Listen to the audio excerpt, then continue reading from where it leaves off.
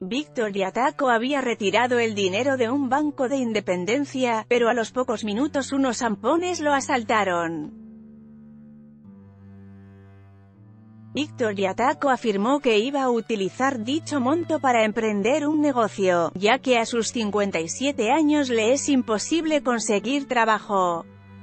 Foto, Canal N, un jubilado jamás imaginó que el dinero que había acumulado por largos años en su fondo de pensiones lo iba a perder en contados minutos, tras retirarlo de un banco en Independencia.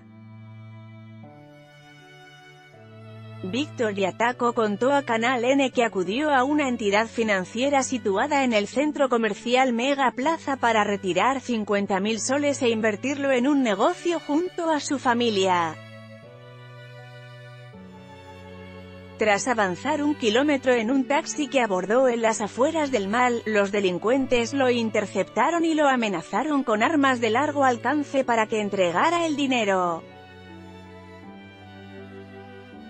Incluso lo golpearon en la cabeza al oponer resistencia, ante la ferocidad de los zampones, y Ataco entregó el dinero que tenía guardado en un morral.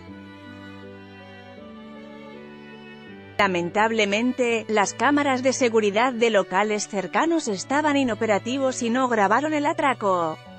La víctima recordó que en el banco se demoraron 15 minutos para desembolsarle los 50.000 soles.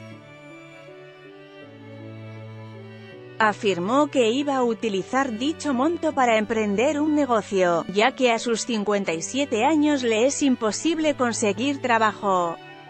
Redacción El Comercio.p Fuente, El Comercio